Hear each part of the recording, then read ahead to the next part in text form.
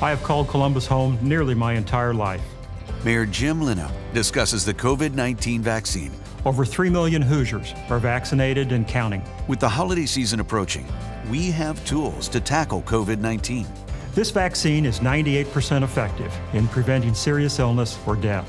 Consider the COVID 19 vaccine so we can all enjoy a healthy Hoosier holiday. If you're still hesitant, find out more at healthyhoosiersalliance.com.